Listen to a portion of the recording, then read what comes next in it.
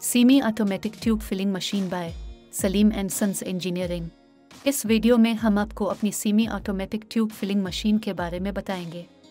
इस मशीन में मिक्सर के साथ डबल जेक्टेड होपर मौजूद है, जो मवाद को यकसा तौर पर गर्म करता है। ये मशीन कंप्रेसर की मदद से चलती है।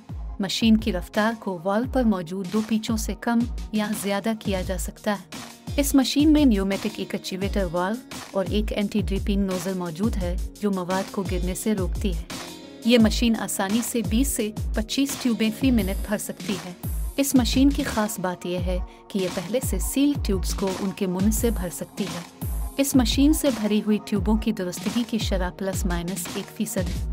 जैसा कि आप देख सकते हैं, हम इस मशीन से भरी हुई ट्यूबों का वज़न कर रहे हैं और वो सीट वॉल्यूम से सिर्फ़ एक ग्राम ज़्यादा या एक ग्राम कम है।